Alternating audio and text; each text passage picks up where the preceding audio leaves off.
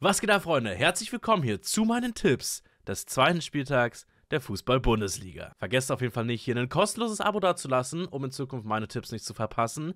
Und liked sehr, sehr gerne das Video. Schreibt mir eure Tipps in die Kommentare und wir starten direkt rein. Wie immer, keine Garantie für irgendwelche Wettscheine. Union gegen St. Pauli. Union mit einem langweiligen 1:1 gegen Mainz reingestartet. Das war genau mein Tipp, den ich auch so vorhergesehen habe dass da jetzt nicht wirklich unbedingt das Feuerwerk abgebrannt wird. St. Pauli hingegen hätte ich erwartet, dass man dort unentschieden spielt zu Hause. Heinheim gewinnt am Ende mit 0 zu 2. Ein Unentschieden wäre verdient gewesen. Ich denke auch nicht, dass wir hier unbedingt ein Feuerwerk sehen.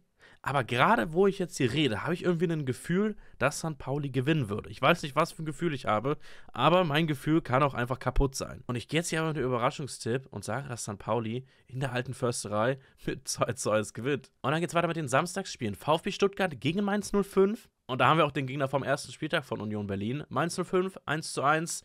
Ja, beide teilen sich die Punkte. Stuttgart überraschenderweise in Freiburg mit 3 zu 1 verloren. Das habe ich absolut gar nicht so predicted und ich glaube, viele von euch da draußen haben auch dieses Ergebnis, wenn sie in der Kicktipp-Runde sind, falsch gehabt. Dass Freiburg da gegen Stuttgart gewinnt, ja, war schon eine Überraschung, muss ich sagen.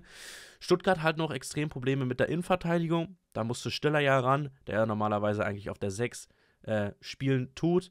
Innenverteidiger war da natürlich dann nicht so seine Traumposition. Hat man auch gemerkt, dass da was fehlt. Man wird jetzt auf jeden Fall noch einen Innenverteidiger verpflichten. Ich glaube sogar, wenn ich das gerade aufnehme, haben wir schon einen Done Deal für einen neuen Innenverteidiger, der dann gegen Mainz, denke ich, spielen wird. Ich denke, zu Hause wird man auch wieder in die alte Spur finden. Stuttgart gewinnt das Ganze gegen Mainz mit 2 zu 0. Als nächstes Spiel haben wir dann Eintracht Frankfurt gegen TSG Hoffenheim. Eigentlich hätte ich ja gedacht, dass es eine Punkteteilung gibt zwischen Kiel und Hoffenheim.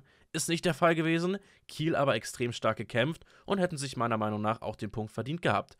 Frankfurt unfassbar unglücklich gegen Dortmund mit 1 zu 0 verloren. Sorry, 2 zu 0 vergessen, dass es ja da noch einen Treffer gab.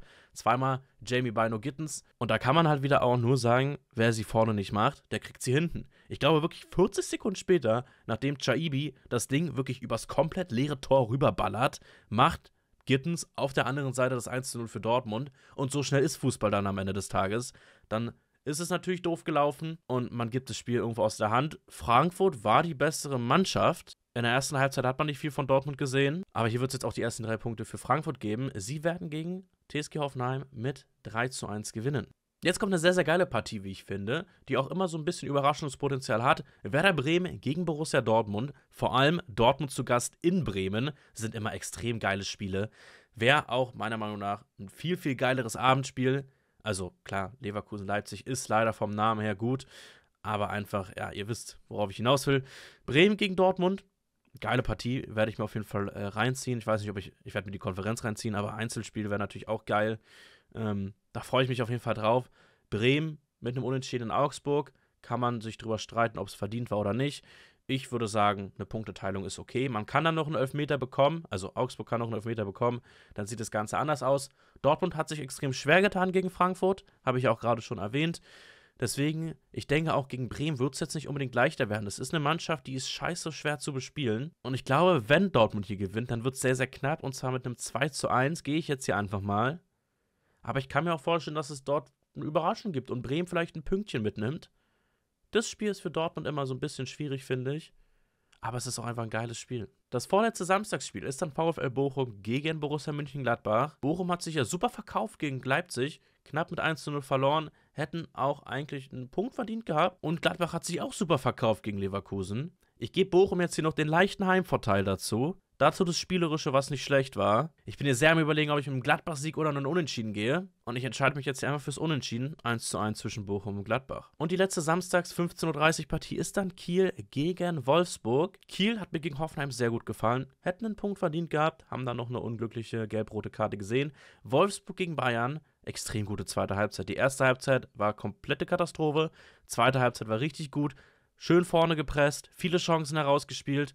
Wenn man so gegen Kiel auftritt, dann hat man als Holstein Kiel kaum bis gar keine Chance. Und deswegen sage ich hier auch, dass Wolfsburg das Ganze mit 2 zu 0 gewinnen wird. Und dann kommen wir zum Topspiel und zwar Leverkusen gegen RB Leipzig. Leverkusen hat sich ja gegen Gladbach noch etwas schwer getan. Die Defensive ist alles andere als gut. Die Offensive ist top wie immer. Und Leipzig hat sich gegen Bochum aber jetzt auch nicht unbedingt mit Ruhm bekleckert. Deswegen finde ich dieses Spiel sehr, sehr schwierig einzuschätzen. Und ich finde es ultra schwierig, jetzt hier irgendwie ein Ergebnis zu sagen.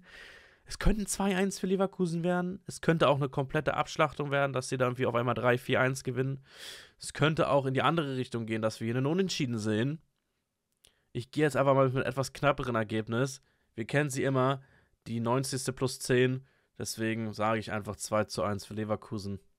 Aber vielleicht auch 1-1, vielleicht auch höher, ich weiß es nicht. Sagt es mir sehr, sehr gerne, was ihr denkt. Und dann kommt zur ersten Sonntagspartie und zwar Heidenheim gegen Augsburg. Heidenheim ja in St. Pauli mit 2 zu 0 gewonnen.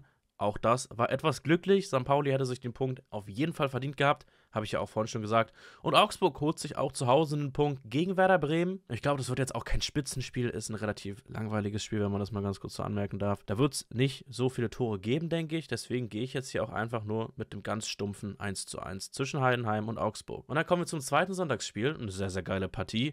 Bayern München gegen SC Freiburg. Freiburg in München tut sich ja immer relativ schwer. Wenn es jetzt andersrum wäre, dann könnte man da auf jeden Fall drüber nachdenken, ob es da vielleicht einen Punkt für Freiburg gibt oder sie sogar gewinnen.